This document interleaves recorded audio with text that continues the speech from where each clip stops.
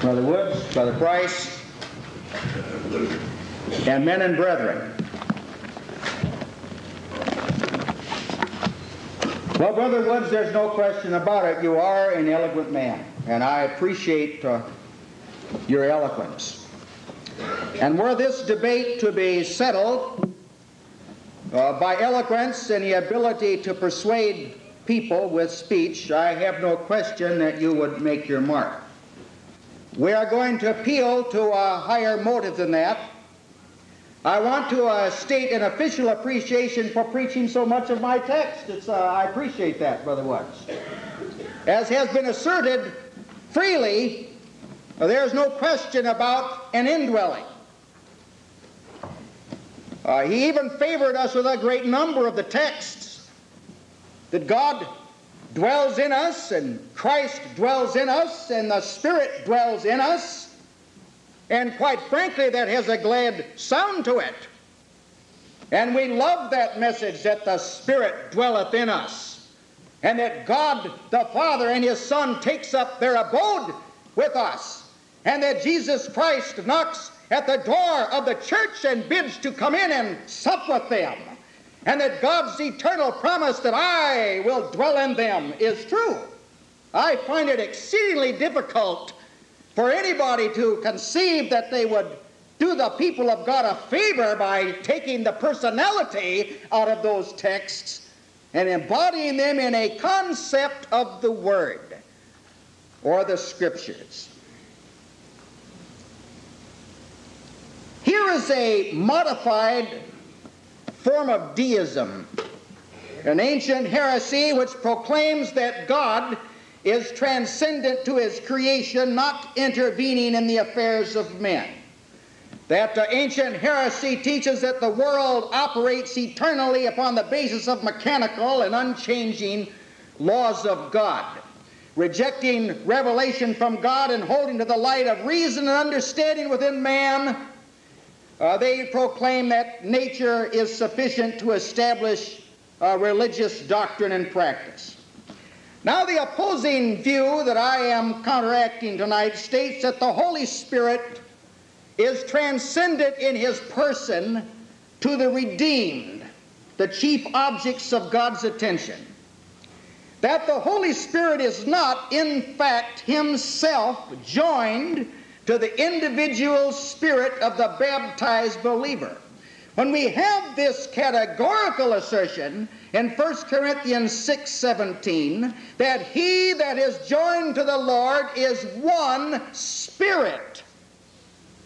Believers' only access to the truth cannot be the utilization of unaided reason or mortal powers brought to play upon the Bible, the revealed Word of God certain personal advantages that may have been the result of the indwelling spirit in the first century are seen as being withdrawn from believers due to the completion of the scriptures. That the scriptures being complete are a total source of utilization of the Holy Spirit from without the child of God. Now I affirm that this is heresy in the rawest and most definitive sense of the term. It is contradictory to express revelation and implications. Whatever may or may not be said about the Holy Spirit dwelling in us representatively, God did not make that statement.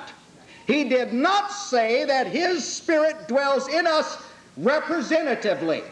He did not say that the Spirit dwells in us only through the Word.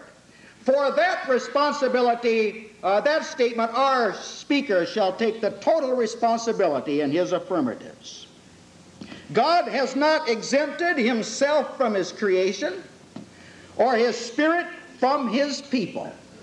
His spirit is called the spirit of adoption, which identifies the spirit with God's children as well as with his word. The deficiencies of the old time were not due to insufficient written testimony. That is to say, the Holy Spirit was not limited in his work with men in old times simply because the testimony was not complete. Men in the first century were said to stand perfect and complete in all the will of God. Colossians 4:12 without a completed volume. Without a completed canon, the Ephesians were admonished to put on the whole armor of God, having among other things their loins girt about with the truth. Before the compilation of the Scriptures, in which the Holy Spirit works exclusively, it is categorically stated that God had given to us all things that pertain to life and godliness.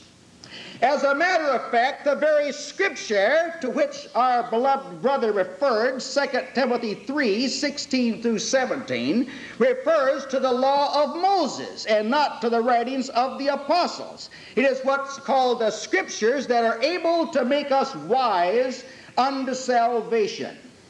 We are not repudiating here the whole counsel of God.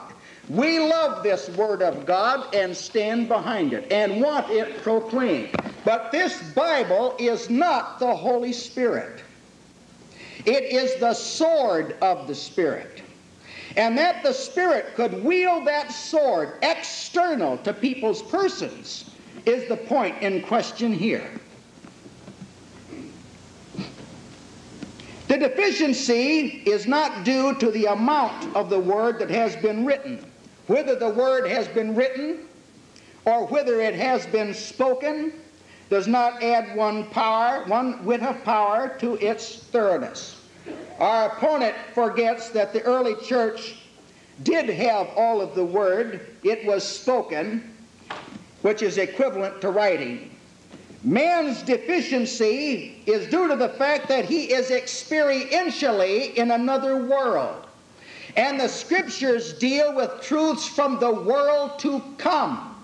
Man's assistance by the Holy Spirit in understanding the scriptures does not have to do with ordinary entrance into the kingdom of God. But as the Holy Spirit said to the Apostle Paul, with the apprehension and comprehension of the dimension of the truth that you might be able to comprehend with all saints what is the height and breadth and length and depth, and to know the love of Christ that passes all understanding. Now, I am affirming that that comprehension cannot come by a working upon man from without, that it must come from a working within that a man is strengthened with might by God's Spirit in the inner man. Is there a deficiency in the Word? God forbid. Let no one dare to assert that. Categoric stated that the truths of the Scripture are able to furnish the man of God, make him thoroughly furnished unto every good work. We have in the gospel something more than a moving of holy men to write as they were moved by the Holy Ghost. The apostles possessed the Holy Spirit of God. It was that possession that opened up their understanding, not a mere retention of academic revelations.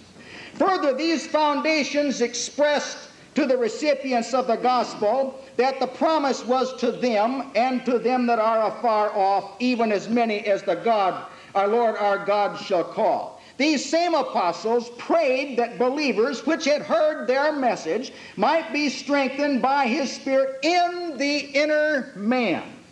My question is Is this strength administered external to the individual's person? At this point, I will set forth some questions that I have for Brother Woods.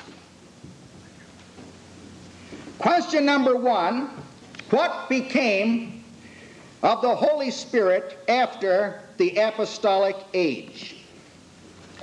Question number two Are the bodies of baptized believers the temple of the Holy Ghost?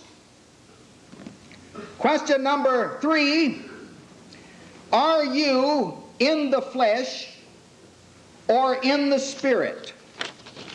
Question number four what is the ministry of the Holy Spirit today? And question number five Can the Holy Spirit be effectually given without being received? the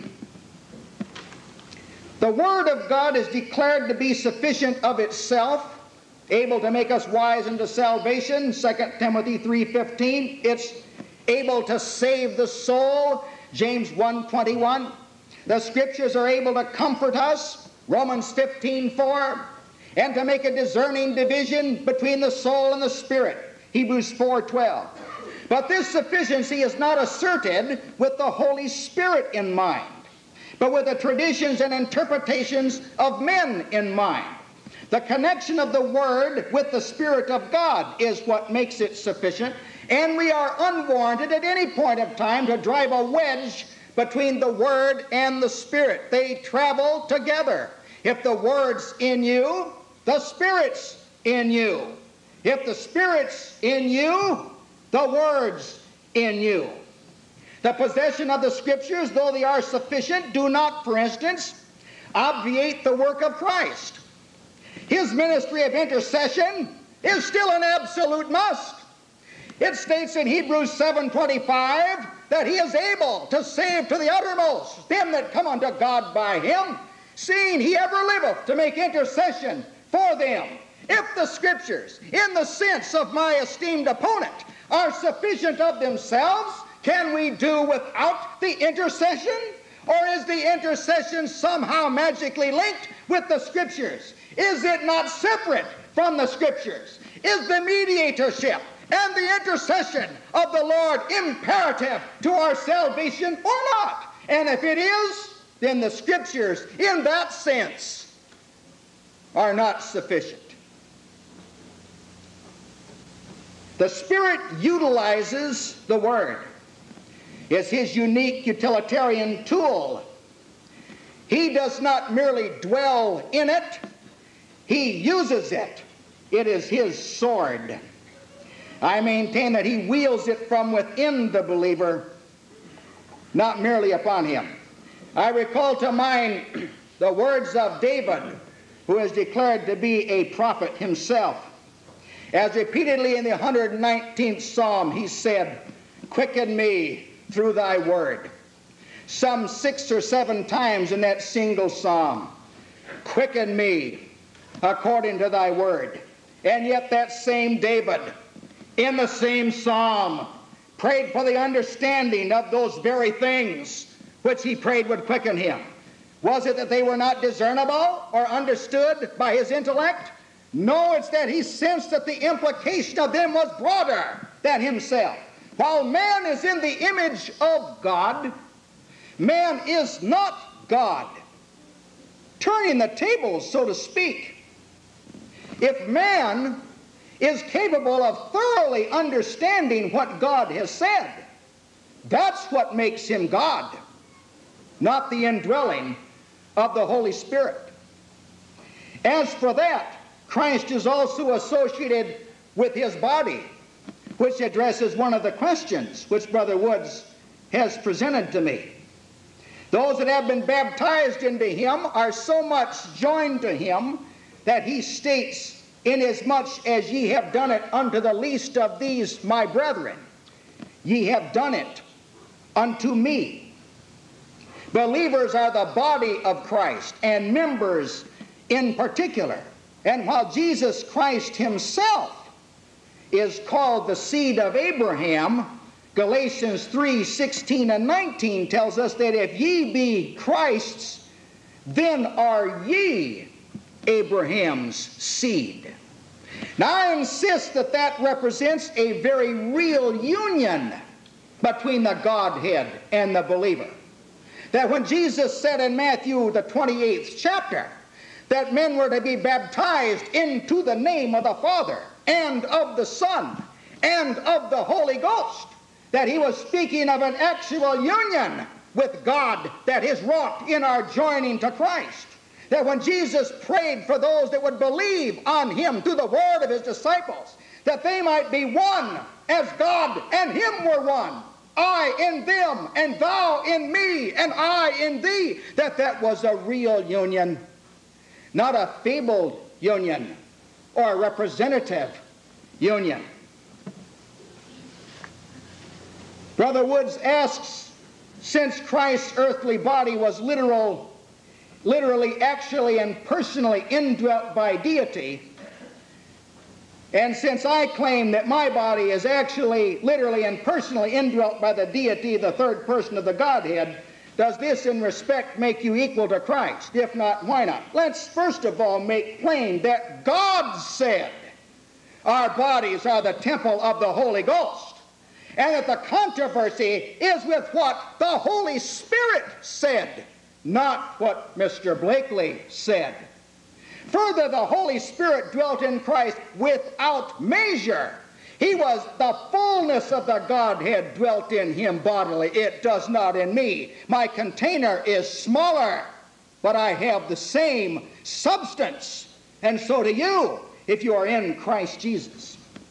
Secondly, is the statement the Holy Spirit is deity, and to be personally indwelt with the Holy Spirit is to be personally indwelt with deity.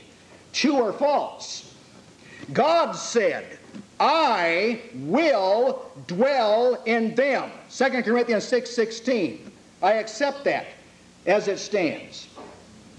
Is the following statement true or false? Given Blakely believes that only one third of the Godhead really and actually dwells in the individual Christian, and the other two thirds of the Godhead, the Father and Son, are not really in the Christian at all. No, that is false. You see, the scriptures tell us that we are a habitation of God through the Spirit. That the Spirit is the representative, not the Word. Ephesians 2 22. Habitation, habitation of God through the Spirit. He is the Father and the Son's representative. Is it true that one without literal, actual, and bodily indwelling of the Holy Spirit is as obtuse and dense as the apostles were before they were baptized in the Holy Spirit, though they had the words of Christ? If that was not true to some degree, why did the apostle pray that the church might receive the spirit of wisdom and knowledge in the revelation of him? Ephesians, the first chapter, verses 18 through 20. Why did he beseech them that they might open up the eyes of their understanding to comprehend somewhat of the magnitude of our redemption? You see, I proclaim to you a salvation that's not academic. I proclaim to you a redemption that's not cursory or elementary. It is involved with height and depth and length and breadth. It passes understanding. It passes knowledge. I insist that that's the case, and it cannot be apprehended without you having the mind of Christ, which is transmitted to you by the Spirit, working in concert with the Word of God. Since you believe that the Christian cannot understand the Scriptures without a literal, actual, and personal indwelling of the Holy Spirit? Does this mean that the alien sinner can't understand the teaching of Scriptures about what to do to be saved without a direct operation of the Holy Spirit? If no, does this mean that you think that the Bible can be understood by unbelievers without the Holy Spirit, but not by Christians without the direct indwelling of the Holy Spirit? Uh, that question is uh, rudimentary. Understanding is not addressed in that manner in the Scriptures. We read in the Word of God of certain matters in the kingdom, Philippians 4 7, that passes understanding.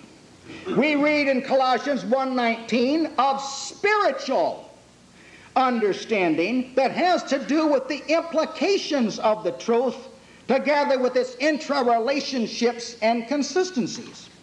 We also read in 1 John 5:20 of an understanding that is given to us. We know that the Son of God hath come and hath given to us an understanding that we might know him that is true.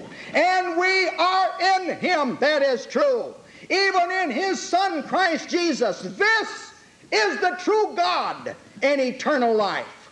Now, does my opponent assert that eternal life is no longer associated with this transmitted understanding by God, admittedly working through the Holy Spirit.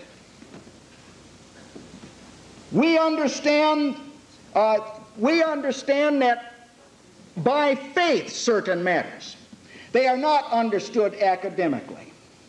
By faith, we understand that the worlds were framed by the Word of God, so that the things that appear were made from things that do not appear. By faith, we understand that. John the 12th chapter and verse 40 speaks of an understanding with the heart that goes beyond mere intellectual analysis.